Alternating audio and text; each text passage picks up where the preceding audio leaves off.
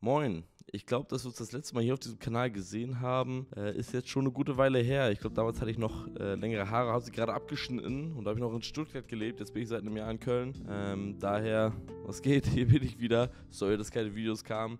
Äh, das ändert sich jetzt aber sehr wahrscheinlich für euch. Aber kurzum zum Anfang. Weswegen mache ich dieses Video? Äh, schlichtweg, um einfach nur zu sagen, dass ich mit Twitch aufhöre. So mal offiziell gesagt. Ich habe es immer nur so auf Twitter erzählt und ein bisschen im Stream, dass ich äh, hadere damit, äh, mit Twitch aufzuhören. Ich habe jetzt seit einem Monat keine Streams mehr gemacht und ich muss ehrlich sagen, ich bin sehr zufrieden mit der Entscheidung. Äh, es war auf jeden Fall die richtige Entscheidung.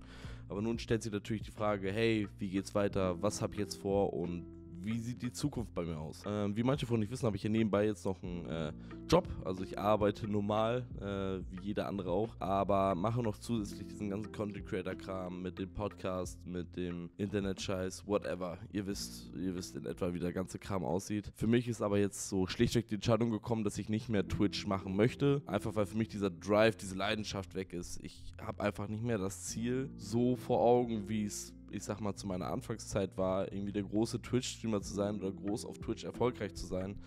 Äh, und ich habe schlichtweg den Spaß an der Sache verloren. Ich meine, ich bin jetzt 27, als ich angefangen habe, war ich 21. So, und über die Zeit verändert man sich auch und man entwickelt sich irgendwie in eine Richtung. Bei mir ist es einfach die, dass ich nicht mehr sechs Stunden am Rechner sitzen kann, Spiele spielen kann und euch eine Frikadelle ans Knie rede. Das ist einfach nicht mehr das, was ich fühle. Ich will lieber Shit erleben, ich will rausgehen, ich will cooles Zeug machen. Ähm, und das ist mit Twitch eher schwierig, wenn ich die Regelmäßigkeit habe oder die Regelmäßigkeit erfüllen muss, jeden Tag live zu sein und äh, einen Stream zu starten. Aber versteht mich nicht falsch so, ich bin übel dankbar für alles, was mir ermöglicht wurde. Ähm, ich bereue es auch auf gar keinen Fall, Twitch-Streamer gewesen zu sein oder äh, Twitch äh, so angegangen zu sein. Das war eine super Zeit und äh, ich werde das auch immer in Ehren halten. Ja, es war, war richtig cool und auch vielen Dank an alle, die mich auf diesem ganzen Weg immer unterstützt haben, die immer dabei waren, die über den ganzen Kram geschaut haben, auch wenn es mal irgendwie ein bisschen lower war oder mal nicht so gut war.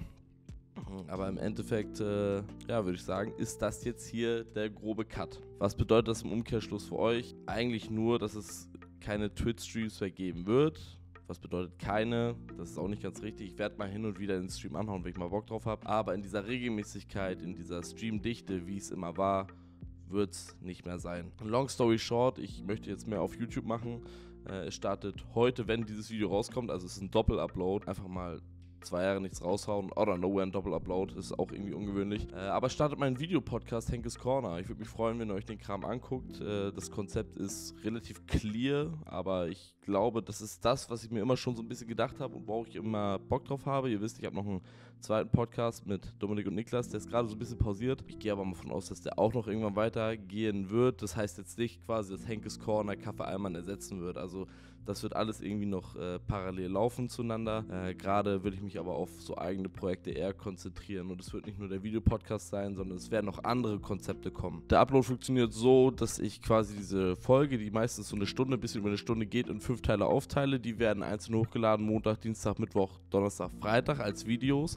Und mit dem Freitag, also mit dem letzten Teil von der Folge, veröffentliche ich auch gleichzeitig die Audiospuren, die ungeschnittenen Audiospuren auf allen Podcast-Plattformen, wo auch immer ihr Podcast hören wollt. Da wird es auf jeden Fall sein. Das Konzept zu Henkes Corner ist relativ clear. Ähm, ihr müsst euch das so vorstellen, es gibt einen Gast oder eine Gästin und es gibt mich. Und dieser Gast rotiert immer durch. Also es wird jede Folge immer einen neuen Gast geben. Es haben schon sehr viele coole Leute zugesagt.